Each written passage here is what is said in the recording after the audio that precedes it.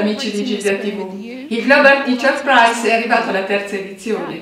Quest'anno il premio di un milione di dollari è stato assegnato a Dubai ad una docente d'arte inglese. Alla premiazione ha partecipato per l'Italia Lorella Carimali, ambasciatrice nel mondo per la didattica della matematica. Sentiamo Valentina Foschi che ha seguito l'evento. Sì, esatto, buongiorno. Eh, abbiamo avuto l'opportunità di partecipare al Global Education and Skills Forum 2018 che si è svolto a Dubai e all'interno del quale si è anche tenuta la premiazione del Global Teacher Prize, ovvero il Nobel dell'insegnamento istituito dalla Varchi Foundation. Eh, e dobbiamo dire che è stata veramente un'esperienza unica perché in tre giorni si sono riuniti più di 2000 tra docenti, eh, insegnanti, esperti, professionisti professionisti del settore, del mondo della formazione e dell'educazione in un unico luogo.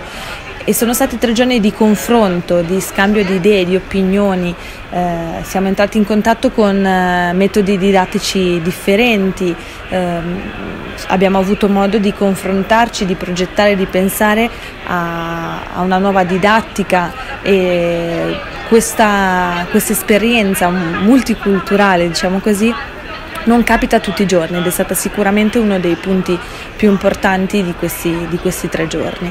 Eh, appunto come dicevo prima è, stata, è, stato consegnato il Nobel all'insegnamento eh, che è stato dato, mi perdonerete per la pronuncia, wow. ad Andrea Zafirakou che è una docente d'arte inglese che lavora in una scuola a Brent, un sobborgo molto difficile a nord-ovest di Londra e lei è stata scelta tra oltre 30.000 candidature insegnanti appunto provenienti da tutto il mondo e nel suo discorso eh, dopo essere stato consegnato il Nobel ha, detto che, um, ha affermato che quello che serve è far capire che non importa la situazione di partenza da cui si proviene, una volta dentro la scuola le opportunità sono per tutti.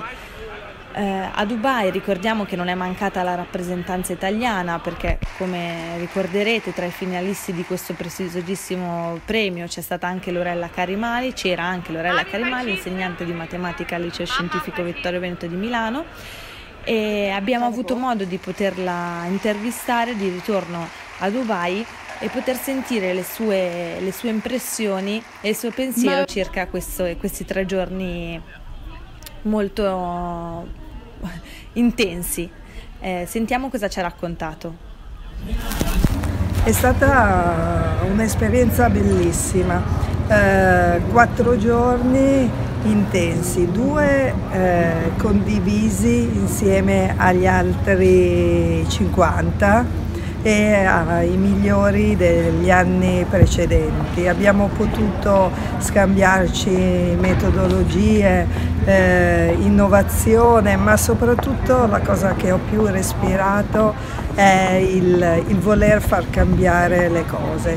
Cioè quando si dice che la scuola, gli studenti e gli insegnanti possono cambiare le cose, possono creare un mondo di pace, beh, io in questi giorni l'ho proprio vissuto insieme agli altri ambassador e, e questa è, la, è, sicuramente la cosa che mi porterò a casa insieme a tutti i contatti ai progetti che potremo fare in comune. Ad esempio pensavo di aiutare il collega belga che con un kit che ha ideato lui riesce a fare scuola nei campi profughi del Kenya. Ecco, gli servono insegnanti e in questo caso anche l'insegnante di matematica va benissimo. Poi ci sono stati i due giorni del summit eh, vero e proprio dove ho potuto assistere a lezioni incredibili, ad esempio quella di Al Gore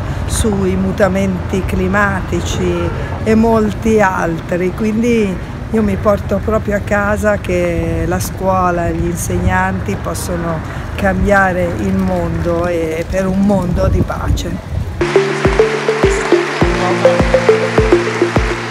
One more time, ladies and gentlemen.